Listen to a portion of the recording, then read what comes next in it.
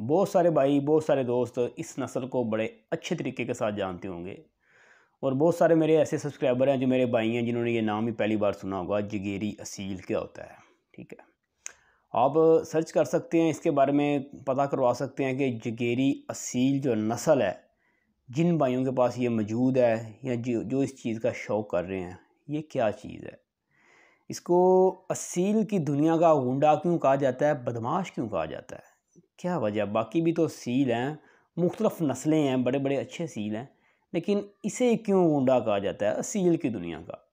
आज उसके बारे में थोड़ी सी डिस्कस करेंगे। मेरा नाम है मोहम्मद एहसान गुजर और आप देख रहे हैं एहसान गुजर व्लॉग चैनल।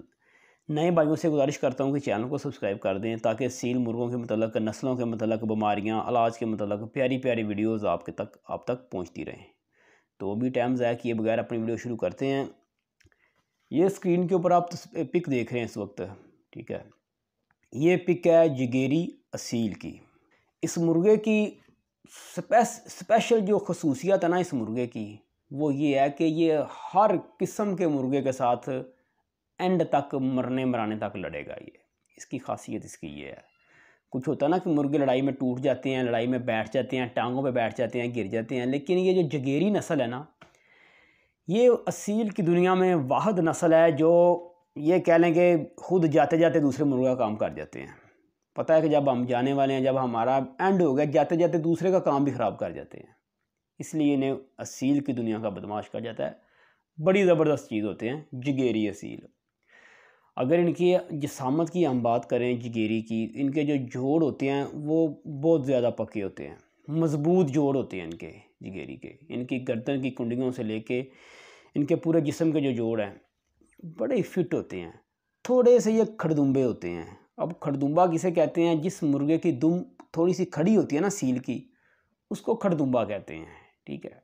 ये जो जगेरी हैं, ये सारे खड़दुम्बे होते हैं। जेर दुम, मैंने बताया था पिछली वीडियो में, जो मियाँ वाली के हैं, वो जेर दुम होते हैं। उनकी दुम बिल्कुल नीचे ज़मीन के साथ लगी होती है। और जो खड़दुम्बे होते हैं, जैसे ये थाई होते हैं, ये भी खड़दुम्बे ही होते हैं। दुम खड़ी से मुराद होता है ये लफ्ज़। तो ये खड़दुम्बे लड़ाई में बड़े अच्छे साबित होते हैं। जो लोग असील की फ़ाइट का शौक़ रखते हैं, उनके पास जगेरी मुर्गा लाजमी होता है।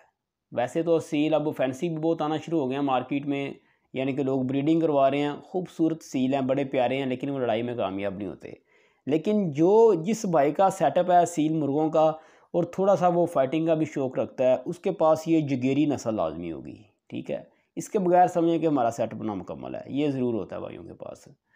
तो अगर हाँ इसकी अब बात करें, इसकी खूबी की बात करें, इसकी लड़ाई की अगर बात करें तो ये ज़बरदस्त फ़ाइटर होते हैं, अच्छे फ़ाइटर होते हैं।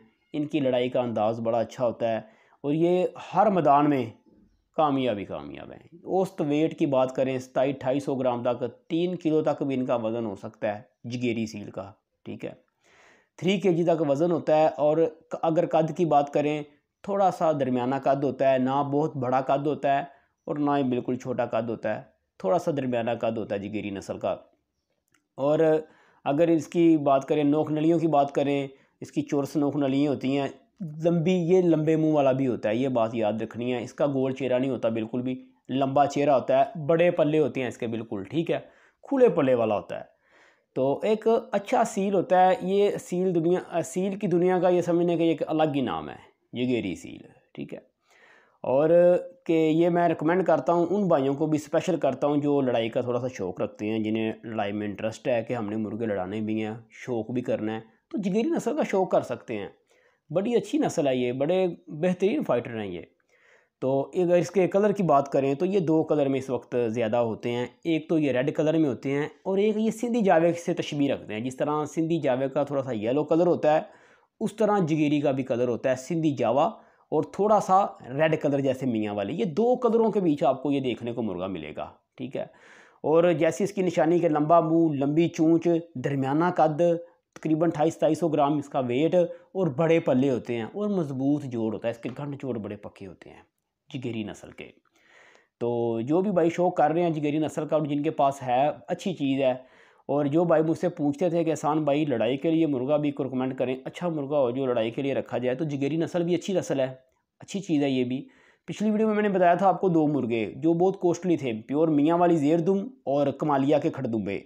वो मैंने आपको बताए थे, वो कॉस्टली मुर्गे हैं, वो काफ़ी एक्सपेंसिव मुर्गे हैं और लेकिन उनका एक नाम है, पाकिस्तान के अंदर उनका एक नाम है। और ये जो जगेरी नस्ल है इसका भी एक लड़ाई में नाम है। ये एक अलग ही पहचानी जाती है, जिसे कहते हैं ना कि जितना मर्ज़ी बड़ा मुर्गा जौन सा मर्ज़ी मुर्गा इनके आगे छोड़ दे, ये उसके गले पड़ जाएँगे, गले लग जाएँगे उसके। तो ये अपने नाम से ही पहचाने जाते हैं, अच्छी नस्ल है। तो पिक मैंने दिखा दी, जैसे मुर्गा मेरे पास कोई आएगा, मुर्गे का बजरिया आपको लाइव लाइव दिखा के शौक भी करवा दूँगा।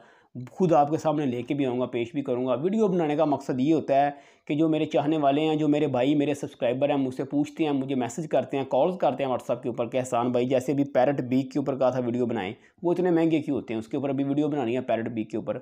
हीरा ब्रीड के ऊपर अभी वीडियो बनानी है, बड़ी वाजिया करके कि किधर से बनी, क्या उसका सीन है?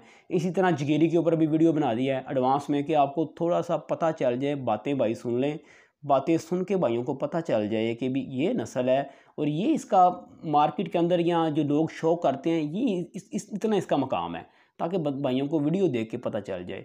तो नए आने वाले भाइयों से गुजारिश करता हूँ चैनल को सब्सक्राइब कर दें ताकि सील मुर्गों के मतलब प्यारी प्यारी वीडियोज़ और आपके जितने मसले मसाइल हैं मुझ तक वो शेयर हो सकें और मैं आपको उनका इलाज उनका हल बता सकूँ।